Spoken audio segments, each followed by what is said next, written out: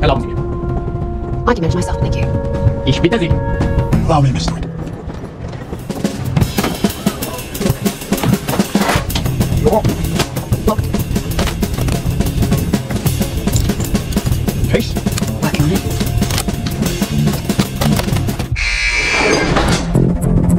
March-Phillipps. I have a mission I want you to lead.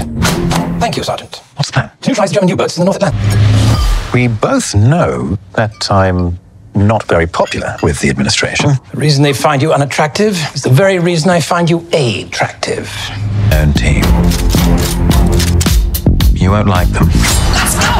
They're all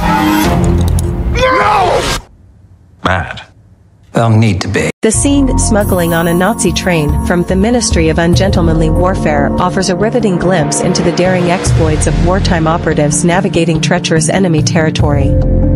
Crafted with meticulous attention to detail, this scene immerses Is an viewers in a world unsanctioned, of high-stakes unauthorized mission. If we fail, England will be condemned to a lifetime under the German boot. I said, That is not a dog. That is my wife. It's very good.